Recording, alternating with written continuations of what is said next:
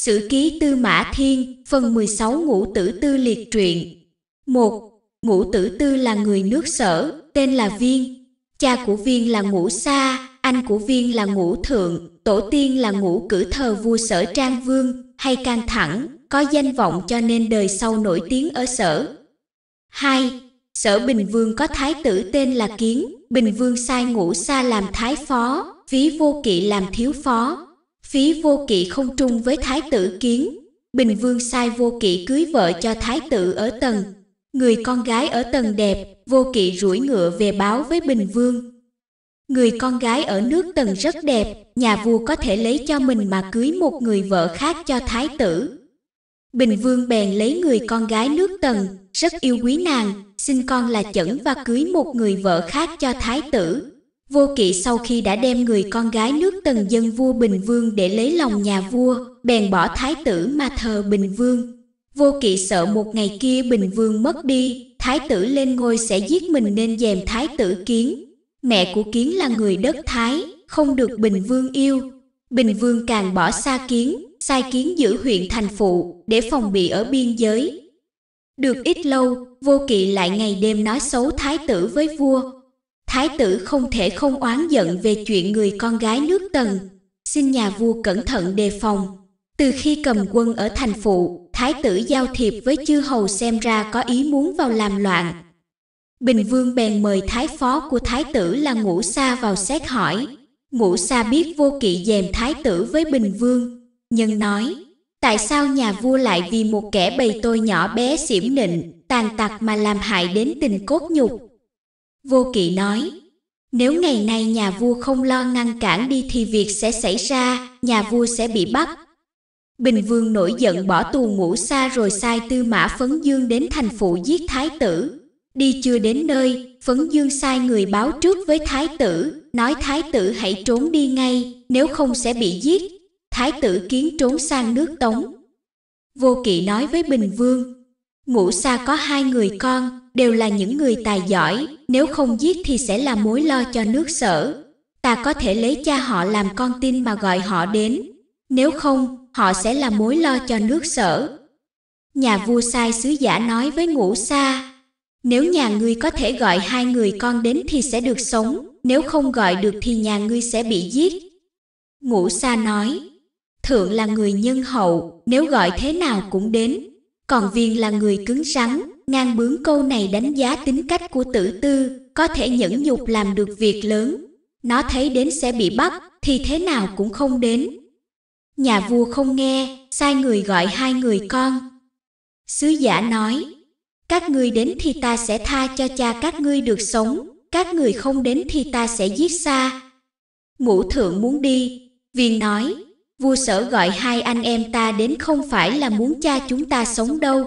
Ông ta sợ có người trốn thoát sau này sẽ gây mối lo cho nên lấy cha chúng ta làm con tin, lừa gọi hai anh em ta đến. Hai anh em ta đến thì cha con đều chết chứ chẳng có ích lợi gì hết. Cha chúng ta chết, chúng ta đến chỉ làm cho sau này không có ai mà trả thù mà thôi. Không bằng trốn sang nước khác, mượn sức mạnh của nó mà rửa cái nhục của cha. Nếu tất cả đều chết thật không làm được việc gì hết. Ngũ thượng nói, ta biết đến thi cuối cùng cũng không thể bảo toàn được tính mạng của cha. Nhưng chỉ tiếc một điều cha gọi ta đến để mong được sống mà ta không đến, sau này không thể rửa được điều nhục, rốt cục bị thiên hạ cười mà thôi.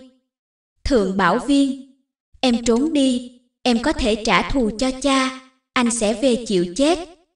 Thượng để cho người ta bắt, Sứ giả bắt ngũ tử tư, nhưng ngũ tử tư trương thẳng cung lắp tên vào nhắm sứ giả dọa bắn, sứ giả không dám tiến, ngũ viên bèn bỏ trốn. Nghe nói thái tử kiến ở Tống, ngũ viên đến đây theo thái tử. Sa nghe tin con mình là tử tư đã trốn thoát, nói Vua tôi nước sở rồi sẽ khổ cực về việc binh đao đây. ba Ngũ thượng đến sở, sở giết cả xa lẫn thượng, ngũ tử tư đến Tống, Tống gặp cái loạn họ Hoa khoảng năm 522 trước công nguyên bọn Hoa hợi, hướng ninh, Hoa định muốn cướp ngôi sở, sau đó bỏ trốn, tử tư bèn cùng thái tử kiến trốn sang nước trịnh. Người trịnh rất quý họ, thái tử kiến lại sang tấn. Tấn khoảnh công nói, Thái tử đã quen nước trịnh, nước trịnh tin thái tử, nếu thái tử có thể làm nội ứng cho ta, còn ta đánh bên ngoài thì thế nào cũng diệt được trịnh. Nếu diệt được trịnh, ta sẽ phong đất cho thái tử. Thái tử bèn trở về trịnh.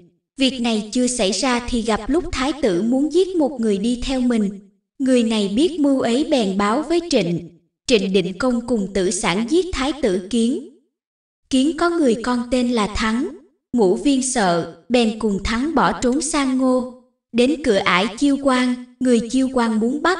Ngũ viên bèn cùng thắng đi bộ bỏ chạy, suýt nữa thì không thoát được. Người đuổi theo ở đằng sau. Khi qua sông Giang, trên sông có một người đánh cá đang chèo. Ông ta biết ngũ tử tư nguy cấp bèn chở thuyền cho tử tư. Sau khi qua sông, tử tư cởi thanh kiếm nói, thanh kiếm này giá đáng trăm lạng vàng, tôi xin biếu cụ.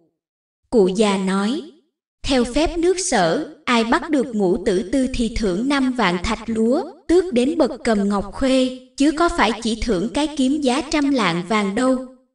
Ông cụ không nhận, ngũ tử tư chưa đến đất ngô, bị bệnh, dừng lại giữa đường, ăn xin.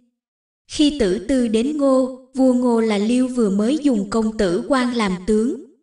Ngũ tử tư bèn nhờ công tử quan để xin ý kiến vua ngô, sau đó ít lâu, Sở Bình Vương vì việc cái ấp ở biên giới nước Sở là Trung Ly cùng ấp Ti Lương ở biên giới nước Ngô đều làm nghề nuôi tầm, con gái hai bên tranh nhau đất trồng dâu, đi đến đánh nhau, nên nổi giận, đến nỗi hai nước đem binh đánh nhau. Ngô sai công tử quan đánh sở, lấy đất chung Ly và cư xào của sở, rồi đem quân về.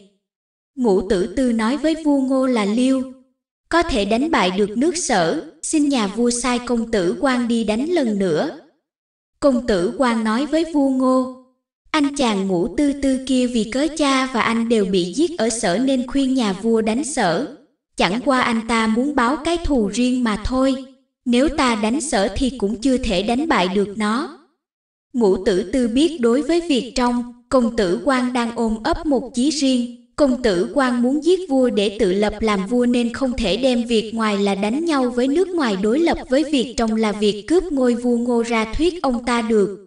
Tử tư bèn tiến cử chuyên chư với công tử quan, còn mình rút lui cùng con của thái tử kiến là thắng đi cày ở đồng nội. Sau 5 năm, sở Bình Vương mất.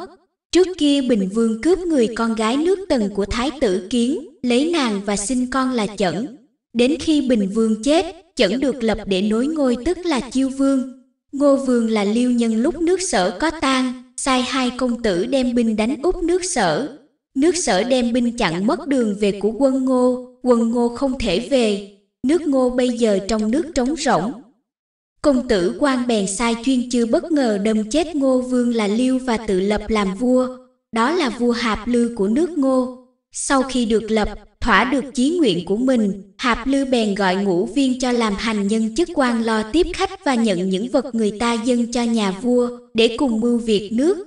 Nước sở giết quan đại thần của mình là Khước Uyển và Bá Châu Lê, cháu của Bá Châu Lê là Phỉ chạy trốn sang Ngô, Ngô cũng cho Phỉ làm đại phu. 4. Trước đấy, vua Ngô sai hai công tử cầm quân đánh sở, bị chặn đường không về được, sau đó hai người lại nghe tin Hạp Lư giết vua là Liêu mà tự lập na vua, bèn đem quân đầu hàng sở, sở phong cho họ ở thư. Hạp Lư lên ngôi được ba năm, bèn đem quân cùng ngũ tử tư và bá phỉ đánh sở, lấy đất thư bắt hai vị tướng quân của ngô đã làm phản. Nhưng đấy Hạp Lư muốn đánh đến sinh. Tướng quân Tôn Vũ Can, dân mệt nhọc, chưa có thể đánh, hãy chờ. Hạp Lư bèn quay về, Năm thứ tư, Ngô đánh sở lấy hai huyện lục và tiềm. Năm thứ năm, Ngô đánh Việt thua. Năm thứ sáu, sở chiêu vương sai công tử nang ngõa cầm quân đánh Ngô. Ngô sai ngũ viên đón đánh, phá tan quân sở ở dự chương, lấy đất cư xào của sở. Năm thứ chín, vua Ngô là Hạp Lư Bảo Tử Tư và Tôn Vũ. Trước đây các ông nói chưa có thể vào được thành sinh, bây gió ở thì thế nào? Hai người đều nói, tưởng sở nan ngõa tham lam, dân đất đường, đất thái đều oán giận hắn. Nếu nhà vua muốn đánh sở một trận lớn thì trước tiên phải làm cho dân đường và thái theo mới được. Hạp Lư nghe lời, đem tất cả quân sĩ cùng dân đường và Thái đánh sở. Quân Ngô và quân sở dàn trận sát sông Hán Thủy. Em của vua Ngô là Phù Khái cầm quân xin theo, nhà vua không nghe, Khái bèn đem bộ hạ của mình 5.000 người đánh tướng sở tử thường tức nan ngõa. Tử thường thua, chạy sang đất trịnh. Quân Ngô bèn thừa thắng tiến lên, đánh năm trận rốt cuộc tiến đến thành sinh. Ngày kỷ mão, sở chiêu vương bỏ chạy. Ngày canh thìn Ngô vương vào thành sinh, chiêu vương bỏ trốn vào đầm Vân Mộng, bọn ăn trộn đánh nhà vua, nhà vua chạy vào nước Vân. Em của Vân Công là Hoài nói, Bình Vương giết cha ta, ta giết con hắn cũng được chứ sao? Vân Công sợ em mình giết nhà vua nên cùng nhà vua trốn sang đất Tùy. Quân Ngô vây thành Tùy, bảo người Tùy. Con cháu của họ Chu ở Hán Xuyên đều sẽ bị quân sở giết hết. Người Tùy muốn giết nhà vua, nhưng người con của nhà vua là cơ giấu vua đi và tự xưng làm vua để thay thế. Dân thành Tùy bói xem có nên nộp nhà vua cho quân Ngô không? Quẻ bói không tốt, họ bèn từ chối không trao nhà vua cho quân Ngô. Trước đây, ngũ viên chơi với thân bao tư. Khi trốn đi, viên có bảo bao tư. Tôi thế nào cũng lật đổ nước sở. Bao tư nói, tôi thế nào cũng bảo tồn được nước sở. Đến khi quân ngô vào thành sinh, ngũ tử tư tìm chiêu vương không được, bèn sai đào mã sở bình vương lên, đem thay ra quốc 300 roi. Thân bao tư lúc này đã bỏ trốn vào trong núi, sai người bảo tử tư, Nhà ngươi báo thù sao mà quá thế? Ta nghe nói người mà đông thì thắng trời, trời định cũng có thể phá người. Nhà ngươi là tôi của Bình Vương, đã từng quay mặt về hướng Bắc mà thờ nhà vua, nay làm gì đến nỗi trừng phạt cả thay người chết như vậy? Như thế chẳng phải là vô đạo hết sức sao? Ngũ tử tư nói, ông xin lỗi thân bao tư hộ tôi, bảo tôi trời chiều, đường xa, cho nên gặp việc trái với đạo lý cũng cứ làm ý nói có dịp được báo thù là làm, kể gì đến đạo lý. Câu này sau thành một thành ngữ. Thân bao tư bèn chạy sang tầng cầu cứu trong cảnh nguy cấp. Vua Tần không nghe. Bao tư đứng trước sân vua Tần khóc bảy ngày đêm không dứt tiếng. Tần ai công thương nói, nước sở tuy vô đạo nhưng có bầy tôi như thế lẽ nào không bảo tồn nó bèn sai 500 cổ xe đi cứu sở, đánh ngô. Tháng 6, đánh quân ngô thua ở Tắc. Gặp lúc vua ngô ở lâu tại đất sở để tìm chiêu vương, phù khái, em của Hạp Lư bèn trốn về tự lập làm vua. Hạp Lư nghe tin ấy liền bỏ sở trở về đánh phù khái ở Đương Khê, làm thành họ Đương Khê. Sở lại giao chiến với Ngô, đánh bại Ngô, vua Ngô bèn rút về. Hai năm sau, Hạp Lư sai thái tử phù sai cầm quân đánh sở lấy đất bàn. Sở sợ ngô lại đem quân đến, bèn dời đô từ sinh đến nhược. Lúc bấy giờ nước ngô nhờ mưu của ngũ tử tư và tôn vũ, phía tây đánh bại nước sở mạnh, phía bắc uy hiếp các nước tề, tấn, phía nam chinh phục người Việt. Sau đó 4 năm, khổng tử làm tướng quốc nước lỗ. 5 năm, ngô đánh Việt, vua Việt là câu tiễn đón, đánh bại quân Ngô ở Cô Tô, làm Hạp Lư bị thương ở ngón tay. Quân Ngô phải rút lui, Hạp Lư bị bệnh vì vết thương, sắp chết bảo Thái tử Phù Sai. Còn có quên câu tiễn giết cha con không? Phù Sai đáp, con không dám quên. Đêm ấy, Hạp Lư chết, khi được lập làm vua năm 494 trước công nguyên phù sai cho bá phỉ làm thái tể, tập dược việc chiến trận và bắn tên trong hai năm. Sau đó quân Ngô đánh bại quân Việt ở Phù Tiêu. Vua Việt câu tiễn bèn đem số quân còn lại 5.000 người lên núi Cối Kê, sai quan đại phu là chủng đem lễ vật hậu đến đưa cho quan thái tể của Ngô là phỉ để xin giảng hòa, nộp nước xưng là thần, Ngô Vương toan bằng lòng. Ngũ tử tư nói, vua Việt là con người có thể chịu đựng cảnh khổ cực đắng cay, nếu ngày nay nhà vua không diệt đi thì sau này nhất định sẽ hối hận. Vua Ngô không nghe, dùng kế của Thái Tể là phỉ, cùng giảng hòa với Việt. Sau đó 5 năm, vua Ngô nghe tin tề cảnh công chết, các quan đại thần tranh nhau để được nhà vua yêu, vị vua mới nhu nhược, bèn cất quân đi về hướng Bắc đánh tề, ngũ tử tư can. Câu tiễn ăn không hai món, viếng người chết thăm hỏi người ốm, ý muốn có lúc dùng đến dân. Con người ấy không chết thì còn là cái mối lo cho nước ngô. Này ngô có việc cũng như con người có cái bệnh trong gan trong ruột, thế mà nhà vua lại không lo đánh việc trước, mà lo đánh tề, chẳng phải là sai lầm sao? Vua ngô không nghe, đánh tề, quân tề bị thua to ở ngãi lăng, quân ngô thị uy với các vua nước trâu và nước lỗ rồi trở về, lại càng bỏ lơ mưu kế của tử tư. Sau đó 4 năm, vua ngô đem quân về hướng Bắc đánh tề. Vua Việt câu tiễn dùng mưu của tử cống đem quân giúp ngô, lại đem của quý đưa cho thái tể là phỉ. Hoàng thái tể là phỉ đã mấy lần nhận lễ vật của Việt, lại càng yêu quý và tin nước Việt. Ngày đêm phỉ bày đặt lời nói với vua ngô, Vua Ngô tin dùng kế của phỉ, ngũ tử tư can. Nước Việt là cái bệnh trong gan trong ruột của ta.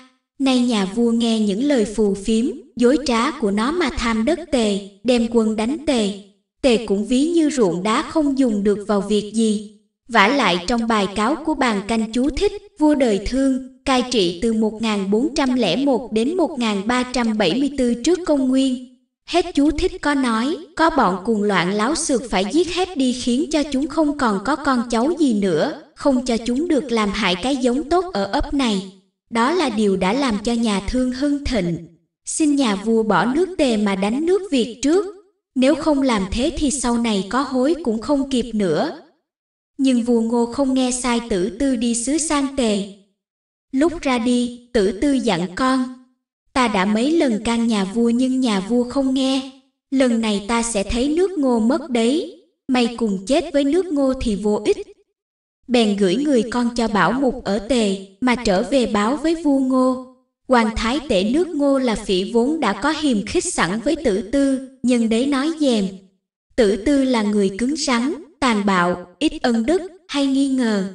Ông ta oán trách, tội sợ sẽ xảy ra tai họa lớn, Trước đây, nhà vua muốn đánh nước tề, tử tư cho là không thể được. Nhà vua cuối cùng đánh tề và có công lớn, tử tư xấu hổ về chỗ mưu kế của mình không được dùng, nên quay ra oán trách. Ngày nay, nhà vua lại đánh nước tề, tử tư chỉ chuyên ra sức can ngăn, mắng nhiếc những người làm quan, chỉ trong nước ngô thua để cho cái mưu của mình được thắng mà thôi.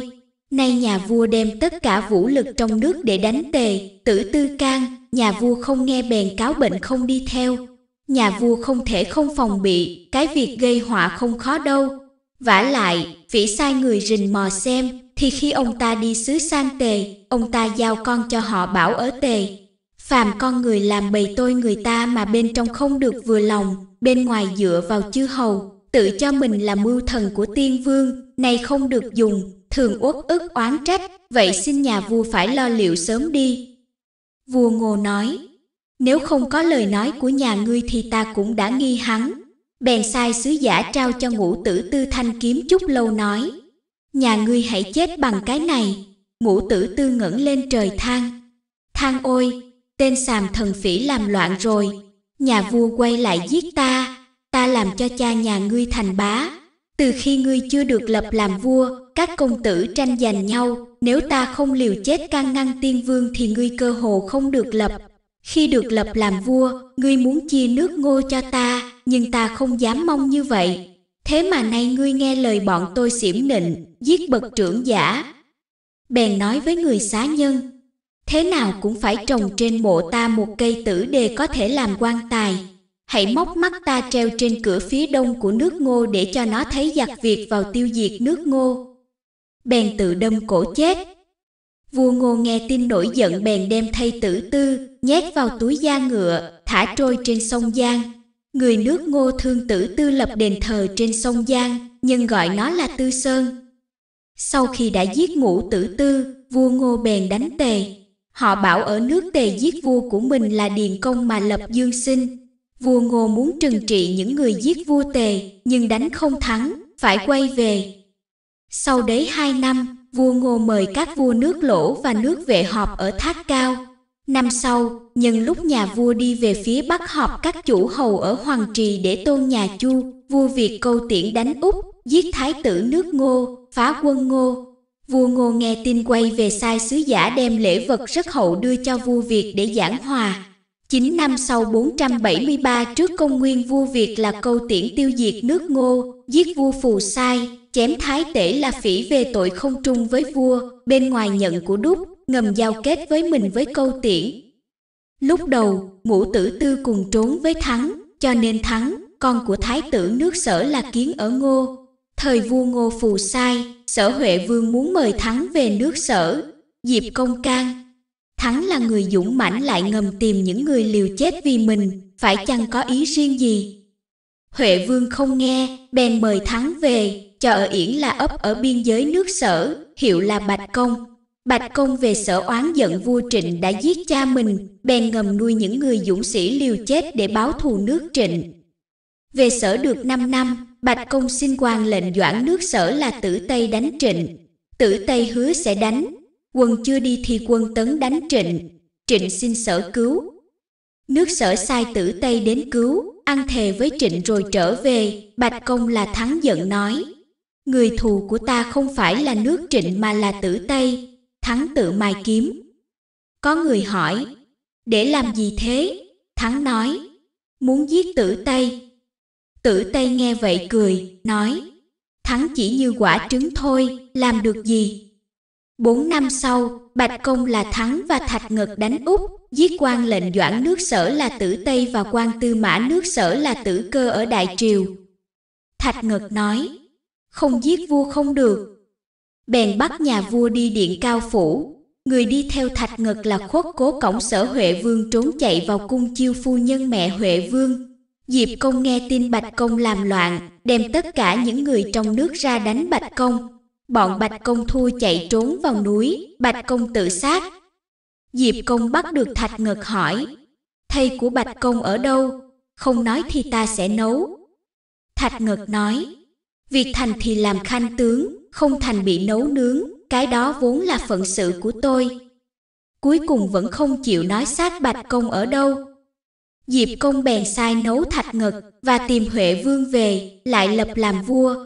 Thái sử Công nói, oán thù đối với người ta thật là thâm độc làm sao? Bậc vua chúa còn không thể làm điều đó đối với bầy tôi, huống gì những người cùng hàng với nhau. Giả sử trước đấy ngũ tử tư cùng chết với ngũ sa thì có khác gì con sâu con kiến. Vì bỏ cái nghĩa nhỏ nên rửa được cái nhục lớn, để danh tiếng lại đời sau. Thang ôi, khi tử tư bị khốn quẩn trên sông, ăn xin trên đường cái, cái chi ông ta há phải trong giây phút nào quên thành xin đâu. Nhịn nhục lập nên công danh, nếu không phải kẻ liệt sĩ thì ai có thể làm được như vậy. Nếu Bạch Công không tự lập làm vua, thì cái công và cái mưu của của ông ta cũng không thể nói hết. Hết phần 16, biết ơn quý anh chị đã dành thời gian lắng nghe chia sẻ của kênh. Hẹn gặp lại quý anh chị cô bác ở phần tiếp theo với nội dung thương quân liệt truyện. Thân ái chào tạm biệt.